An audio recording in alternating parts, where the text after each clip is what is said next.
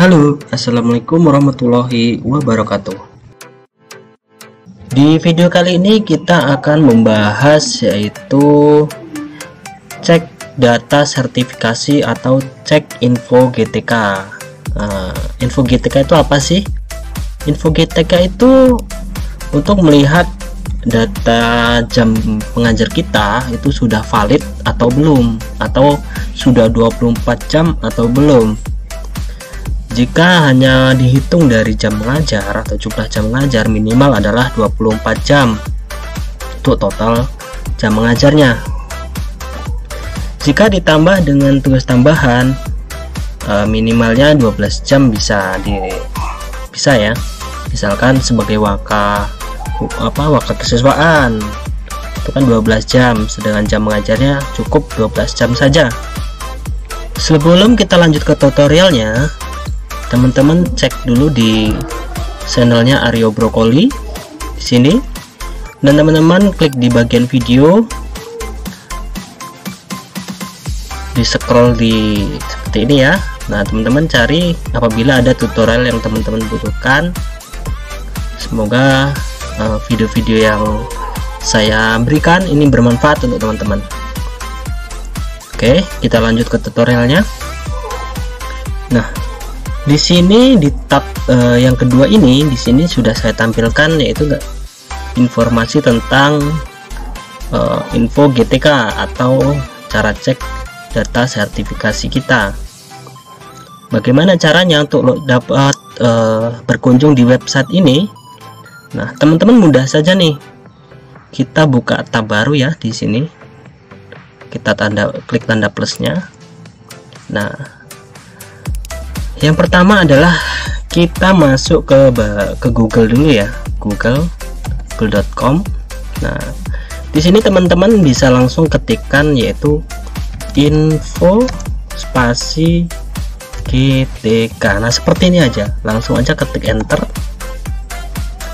Nah, di sini ada penjelasan samping kanan ini ya, ada dari direktorat guru dan tenaga kependidikan.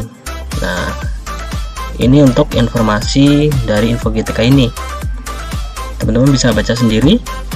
Nah, di bawah ini hasil pencaranya yang paling pertama sendiri ini adalah link utama untuk cek di info GTK tersebut Oke. Uh, teman-teman jangan dilihat dari masalah versinya ya.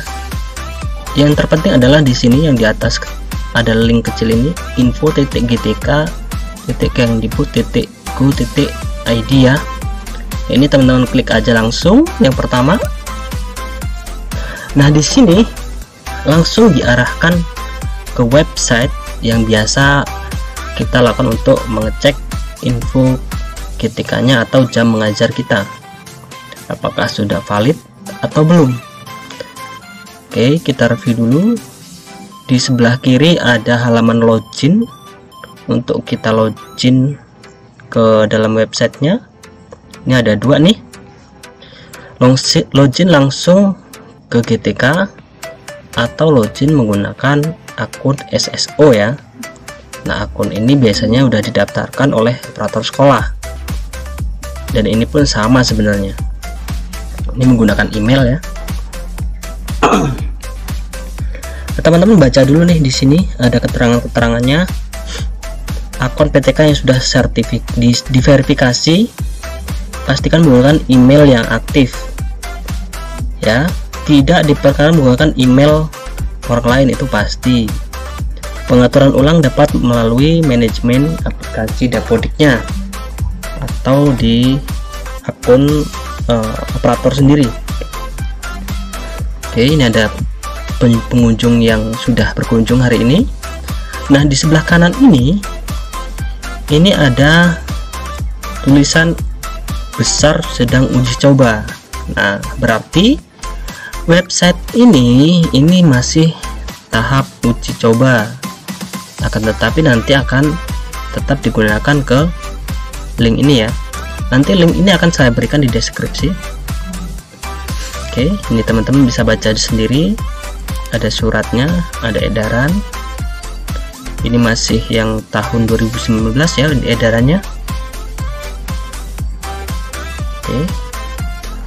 Langsung aja kita coba ya kita coba login. Yang warna kuning ini login langsung ke GTK yuk kita coba. Nah di sini teman-teman bisa perhatikan akun PTK pada Dapodik ya. Ini yang menggunakan email dan passwordnya yang menggunakan password yang sudah didaftarkan oleh operator sekolah ya. Oke. Teman-teman langsung aja ketikkan email di sini di kolom akun PTK pada Dapodik dan di bawahnya adalah password password PTK tersebut ya. Yuk kita coba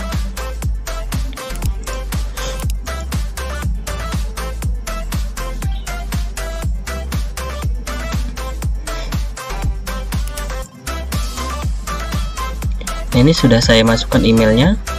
Saya coba untuk login.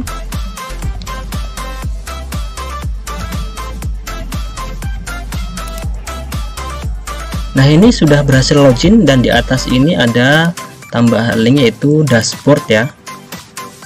Nah di bawah ini teman-teman perhatikan di lembar info GTK ada cetak dan logout.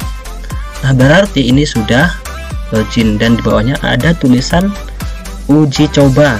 Oke. Nah. Perhatikan dulu sebelah kiri ya.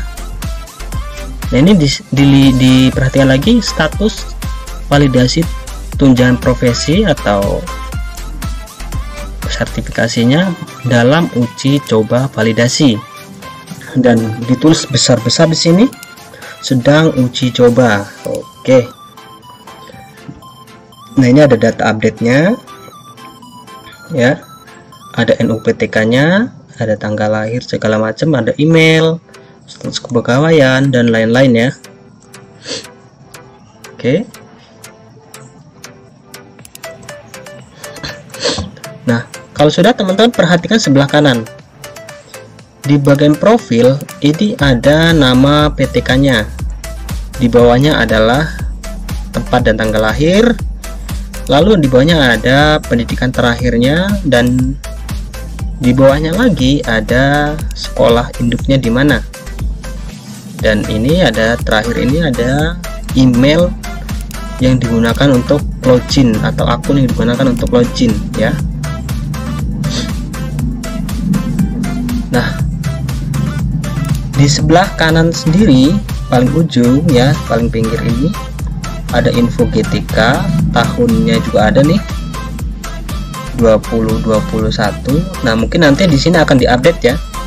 Akan diupdate akun apa tahunnya info GTK tahun sekian tahun yang sekarang. Tapi teman-teman saya sarankan langsung aja ke link yang nanti saya berikan di deskripsi ya. Karena ini link ini ini hanya akan diupdate sistemnya saja bukan diupdate linknya. Oke. Okay. nah di bawah ini ada sertifikasi pendidik. Teman-teman bisa perhatikan di bawahnya ada sertifikasi pendidik yaitu tentang apa? Ada tahun sertifnya ada nomor peserta ada pola sertifikasinya dapatnya dari mana ya? Oh polanya belum ada nih ya kosong ya. Dan naungan sertifikasinya dari mana lalu bisa dicek linearitasnya. Di sini ada bisa diklik ya. Teman-teman bisa lakukan sendiri. Lalu ada status data kelulusan sertifikasi saat ini. Nah ini teman-teman bisa baca sendiri nanti kalau sudah berhasil login. Oke kita scroll lagi ke bawah coba. Ada jamnya enggak nih di sini? Nah di sini ya.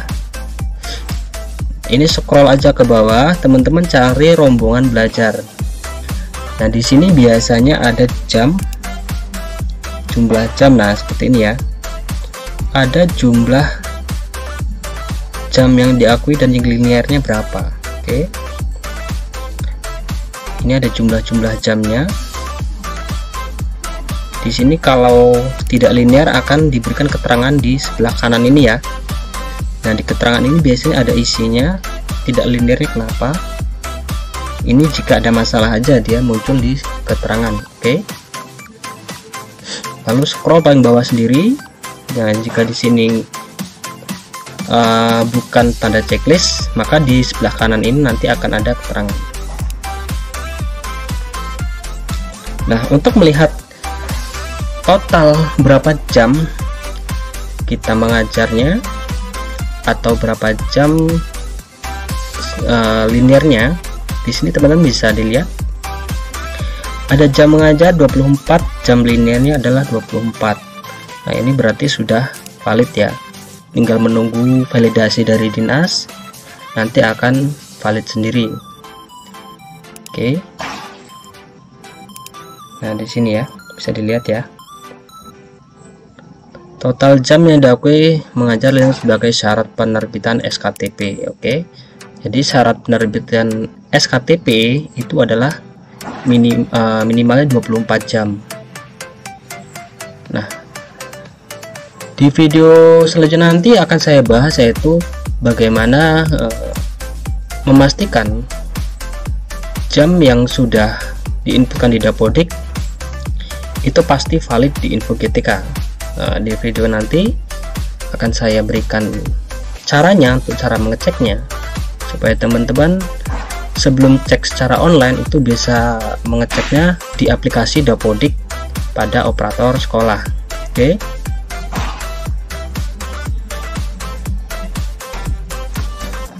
Oke terima kasih teman-teman sudah menonton video ini.